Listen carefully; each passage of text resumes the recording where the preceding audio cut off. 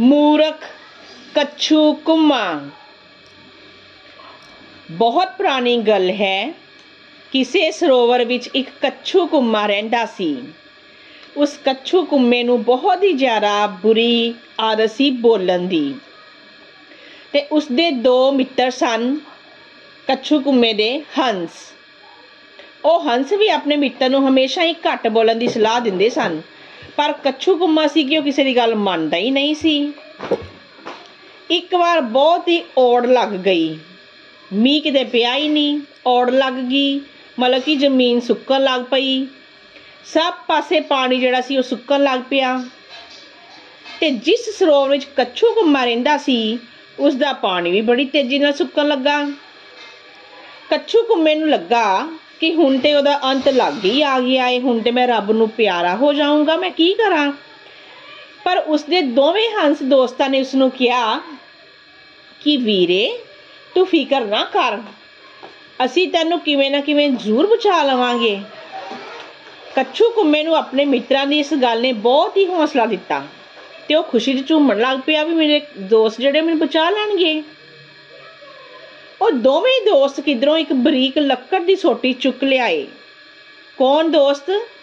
ਕੱਛੂ ਕੁੰਮੇ ਦੇ ਦੋ ਹੰਸ ਦੋਸਤ। ਫਿਰ ਉਹਨਾਂ ਕੱਛੂ ਕੁੰਮੇ ਨੂੰ ਕਿਹਾ ਕਿ ਅਸੀਂ ਦੋਵੇਂ ਜਣੇ ਇਸ ਸੋਟੀ ਨੂੰ ਦੋਨਾਂ ਪਾਸਿਆਂ ਤੋਂ ਆਪਣੇ ਮੂੰਹ ਵਿੱਚ ਫੜ ਲਵਾਂਗੇ ਤੇ ਤੂੰ ਵਿਚਕਾਰੋਂ ਇਸ ਸੋਟੀ ਨੂੰ ਆਪਣੇ ਮੂੰਹ ਵਿੱਚ ਘੁੱਟ ਕੇ ਫੜ ਲਈ।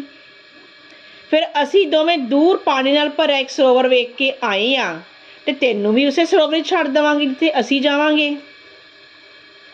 ਪਰੰਤੂ ਉਹਨਾਂ ਦੋਨਾਂ ਹੰਸਾਂ ਨੇ ਆਪਣੇ ਮਿੱਤਰ ਨੂੰ ਇਸ ਗੱਲ ਤੋਂ ਸੁਚੇਤ ਕੀਤਾ ਕਿ ਤੂੰ ਆਪਣਾ ਮੂੰਹ ਬੰਦ ਹੀ ਰੱਖੀ, ਮੂੰਹ ਆਪਣਾ ਖੋਲੀ ਨਾ। ਕਿਉਂ?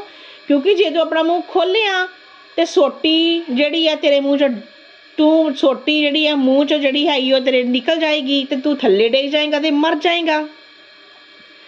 ਕੱਛੂ ਕੁੰਮਾ ਉਹਨਾਂ ਦੀ ਗੱਲ ਮੰਨਦੇ ਗਿਆ। ਕਹਿੰਦਾ, ਕੋਈ ਗੱਲ ਨਹੀਂ। ਤੁਸੀਂ ਜਿੱਦਾਂ ਕਹੋਗੇ ਮੈਂ ਉਦਾਂ ਕਰੂੰਗਾ। ਤੁਸੀਂ ਕੋਈ ਗੱਲ ਨਹੀਂ, ਮੈਨੂੰ ਪਾਣੀ 'ਚ ਇੱਕ ਵਾਰੀ ਛੱਡ ਆਓ ਜਾ ਕੇ। ਮੈਂ ਬੋਲਾਂਗਾ ਨਹੀਂ ਆਪਣਾ ਮੂੰਹ ਜਿਹੜਾ ਹੈ ਨਾ, ਮੈਂ ਟਰ ਟਰ ਟਰ ਟਰ ਕਰਦਾ ਮੈਂ ਬੰਦ ਹੀ ਰੱਖਾਂਗਾ। ਤੇ ਦੋਨੋਂ ਜਿਹੜੇ ਹੰਸ ਦੋਸਤ ਸੀ, ਉਹ ਵੀ ਉਹਦੀ ਗੱਲ ਮੰਨ ਲਈ ਉਹਨਾਂ ਨੇ। ਉਹਨਾਂ ਦੋਨਾਂ ਹੰਸਾਂ ਨੇ ਲੱਕੜ ਦੀ ਜਿਹੜੀ ਡੰਡੀ ਸੀ, ਇੱਕ ਨੇ ਇੱਕ ਮੂੰਹ 'ਚ ਫਸਾਈ, ਇੱਕ ਪਾਸਾ, ਦੂਜੇ ਹੰਸ ਨੇ ਦੂਜਾ ਪਾਸਾ ਫਸਾਇਆ। ਤੇ ਇਹਨੂੰ ਕੱਛੂ ਕੁੰਮੇ ਨੂੰ ਕਿਹਾ ਕਿ ਤੂੰ ਵਿਚਕਾਰੋਂ ਸੋਟੀ ਜਿਹੜੀ ਆ, ਉਹ ਘੁੱਟ ਕੇ ਫੜ ਲਾ। ਤੇ ਕੱਛੂ ਗੁੰਮਾ ਜਿਹੜਾ ਉਹਨੇ ਸੋਟੀ ਫੜ ਲਈ ਤੇ ਦੋਨੋਂ ਜਿਹੜੇ ਹੰਸ ਦੋਸਤ ਸੀ ਉਹਦੇ, ਉਹਨੂੰ ਲੈ ਕੇ ਉੱਡ ਪਏ। ਉੱਡਦੇ ਗਏ ਉੜਦੇ ਗਏ ਥੋੜੀ ਦੇਰ ਬਾਅਦ ਨਾ ਇੱਕ ਸ਼ਹਿਰ ਦੇ ਉੱਤੇ ਦੀ ਲੰਘੇ ਦੋਨੋਂ ਹੰਸ ਤੇ ਕੱਛੂ ਕੁੰਮਾ।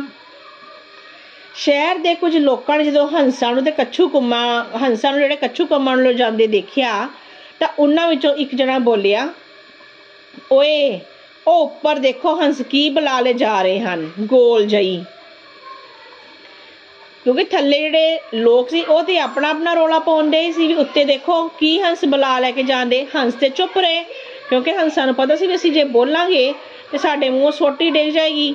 ਕੱਛੂ ਕੰਮਾ ਥੱਲੇ ਡਿੱਗ ਕੇ ਮਰ ਜਾਏਗਾ ਪਰ ਕੱਛੂ ਕੰਮਾ ਜਿਹੜਾ ਸੀ, ਉਹਨੇ ਗੱਲ ਸੁਣਦੇ ਹੀ ਆਪਣਾ ਮੂੰਹ ਖੋਲ ਲਿਆ ਵੀ ਲੋਕਾਂ ਦੀ ਗੱਲ ਦਾ ਜਵਾਬ ਦਵਾਂ। ਅਜੇ ਉਹਨੇ ਉਹ ਹੀ ਆਖਿਆ ਸੀ ਕਿ ਸੋਟੀ ਜਿਹੜੀ ਸੀ ਉਹਦੇ ਮੂੰਹ ਚ ਡਿੱਗ ਪਈ ਥੱਲੇ। ਤੇ ਉਹ ਵੀ ਡਰਮ ਕਰਦਾ ਜਿਹੜਾ ਥੱਲੇ ਤੇ ਮਰ ਗਿਆ ਨਾਲ। ਹੀ ਤੇ ਇਹ ਤੋਂ ਸਾਨੂੰ ਕੀ ਸਿੱਖਿਆ ਮਿਲੀ ਫਿਰ ਬੱਚਿਓ? ਕਿ ਆਪਣੇ ਸਿਆਣੇ ਮਿੱਤਰਾਂ ਦੀਆਂ ਗੱਲਾਂ ਨੂੰ ਜਿਹੜਾ ਵਾ ਉਹ ਅਣਸੁਣਿਆ ਨਹੀਂ ਕਰਨਾ ਚਾਹੀਦਾ। ਜੇਕਰ ਤੁਹਾਨੂੰ ਕੋਈ ਸਿਆਣਾ ਕਹਿੰਦਾ ਹੈ ਕਿ ਇਸ ਮੌਕੇ ਦੇ ਉੱਤੇ ਮੌਕਾ ਦੇਖ ਕੇ ਬੋਲੋ ਜਾਂ ਮੌਕਾ ਦੇਖ ਕੇ ਨਾ ਬੋਲੋ ਤਾਂ ਸਾਨੂੰ ਆਪਣੇ ਤੋਂ ਵੱਡਿਆਂ ਦੀ ਸਿਆਣੇ ਦੀ ਜਿਹੜੀ ਉਹ ਗੱਲ ਮੰਨ ਲੈਣੀ ਚਾਹੀਦੀ ਹੈ ਤੇ ਜੇ ਨਹੀਂ ਮੰਨੋਗੇ ਤੁਸੀਂ ਗੱਲ ਤੇ ਤੁਹਾਡਾ ਹਾਲ ਵੀ ਫਿਰ ਕੱਛੂ ਕੁੰਮੇ ਵਰਗਾ ਹੀ ਹੋਏਗਾ, ਜਿੱਦਾਂ ਕੱਛੂ ਕੁੰਮੇ ਦਾ ਹਾਲ ਹੋਇਆ। ਹੈ ਨਾ ਇੰਟਰਸਟਿੰਗ ਕਹਾਣੀ? ਇਹ ਵੱਡੇ ਬੱਚਿਆਂ ਦੀ ਵੀ ਕਹਾਣੀ ਹੈ, ਸਿੱਖਿਆ ਹੁੰਦੀ ਹੈ ਇਹਦੇ ਵਿੱਚ, ਕਿਉਂਕਿ ਉਹਨਾਂ ਨੂੰ ਜਦੋਂ ਉਹ ਅਧਿਆਪਕ ਜਿਹੜੇ ਪਾ ਦਿੰਦੇ ਨੇ, ਕਹਾਣੀ ਕਿ ਸਾਨੂੰ ਕਹਾਣੀ ਜਿਹੜੀ ਹੈ, ਇਹ ਤੁਹਾਨੂੰ ਕਹਾਣੀ ਆਉਣੀ ਹੈ, ਇਸ ਦੀ ਸਿੱਖਿਆ ਵੀ ਲੱਭ ਕੇ ਪਾਇਓ। ਤਾਂ ਉਹਨਾਂ ਵਾਸਤੇ ਵੀ ਜਿਹੜੀ ਕਹਾਣੀ ਜਿਹੜੀ ਹੈਗੀ ਹੈ, ਇਹ ਬਹੁਤ ਹੀ ਲਾਭਕਾਰੀ ਜਿਹੜੀ ਉਹਨਾਂ ਦਾ ਜਿਹੜਾ ਇਹ ਪੈਟਰਨ ਹੋ ਜਾਏਗਾ ਜੋ ਮੈਂ ਸੁਣਾ ਰਹੀ ਹਾਂ। ਮਿਲਾਂਗੇ ਇੱਕ ਹੋਰ, ਇਸੇ ਤਰ੍ਹਾਂ ਦੀ ਸਿੱਖਿਆ ਦਾ ਇੱਕ ਕਹਾਣੀ ਦੇ ਨਾਲ।